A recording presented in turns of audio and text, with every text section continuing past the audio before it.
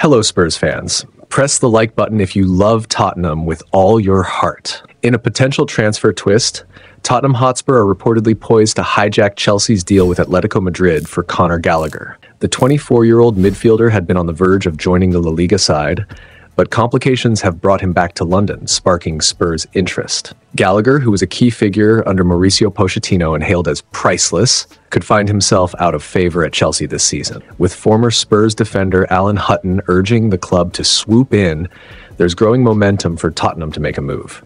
Patrick Vieira, who managed Gallagher during his loan at Crystal Palace, also praised the young midfielder's talent. With Chelsea looking to raise funds, a £35 million bid might be enough to secure Gallagher's services.